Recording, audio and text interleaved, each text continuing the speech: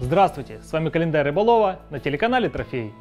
Вода к середине лета значительно прогревается, а когда она достигает отметки в 20 градусов, актуальной становится рыбалка под звездным небом. Днем рыба будет прятаться на дне и возле водорослей. Но несмотря на это, даже в самый жаркий день при правильном подходе можно добыть пару достойных экземпляров. Так, например, у линя начинается период жора, который продлится две недели – Кроме линя на этой неделе мы с вами поговорим о ловле плотвы, сома и судака. Но обо всем по порядку. Небо на этой неделе будет в основном солнечным. Незначительная облачность возможна лишь в четверг и в воскресенье и будет сопровождаться легкими осадками.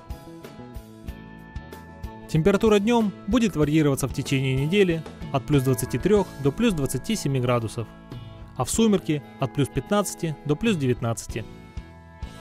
Давление воздуха будет в пределах нормы и ненадолго опустится в середине недели.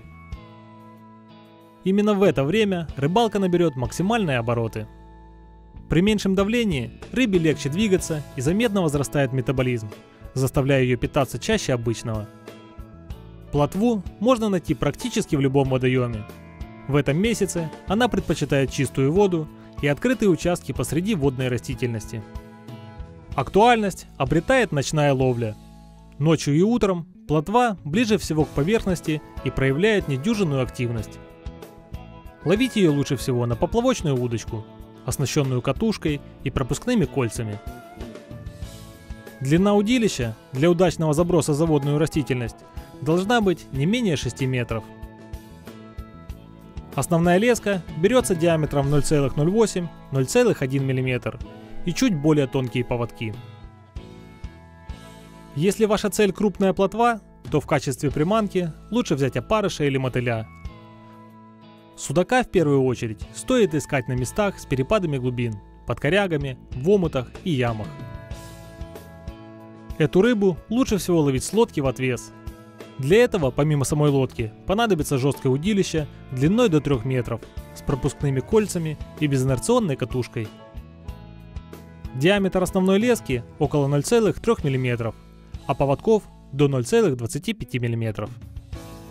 Лучшая ловля проходит на живца, у самого дна на границе течений. Также популярна ловля спиннингом на блесну, твистеры и виброхвосты.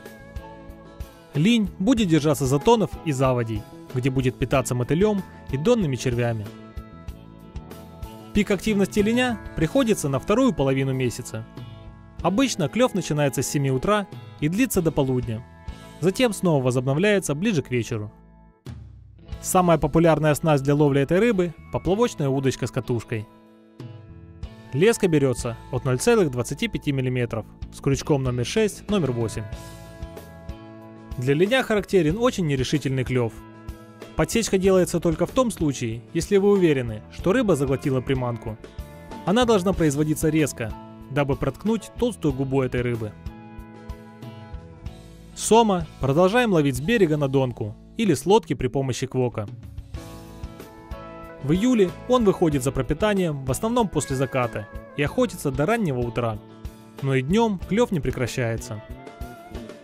Наживкой для этой рыбы отлично послужат пучок червей, медведка, кусок печени или мясо ракообразных.